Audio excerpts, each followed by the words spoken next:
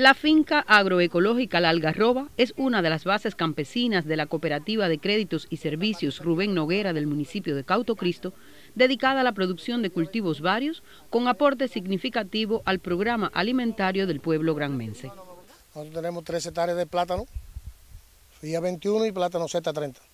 Tenemos 5 hectáreas de plátano burro, tenemos 4 eh, hectáreas de, maíz y tenemos 1.5 de, de boniato. Realmente yo trabajo mucho con bueyes.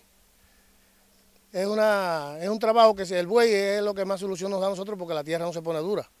Y entonces es verdad que no hay fertilizantes, nosotros sabemos la situación que tiene el país, pero si se trabaja, se triunfa, los rendimientos no podrán ser los mismos. Cuando una hectárea de plátano te puede dar 70, 80 hectáreas, te da 35, 40. Porque no hay urea, no hay fórmula de ningún tipo, ni nada de eso. Pero eso no significa que no se pueda trabajar. Con satisfacción recuerda Proenza el momento en que sus hectáreas fueron visitadas por el presidente de la República, Miguel Díaz Canel Bermúdez, como parte de una visita del mandatario a la provincia de Granma. Es un orgullo para cualquier campesino, ciudadano cubano que venga de su apretada agenda, como usted dice, pero que venga aquí media hora que se pasó con nosotros conversando y caminamos todas las áreas de nosotros.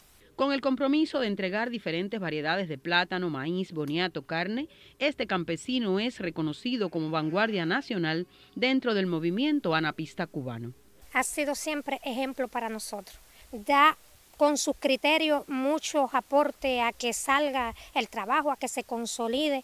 Es humilde, es noble y sobre todo en la labor que desempeña. Es humano, es Alfredo Proenza de los agricultores que en Granma sortean el entramado socioeconómico del país y producen alimentos frente a cualquier obstáculo. Elena Lienz, Sistema Informativo de la Televisión en Granma.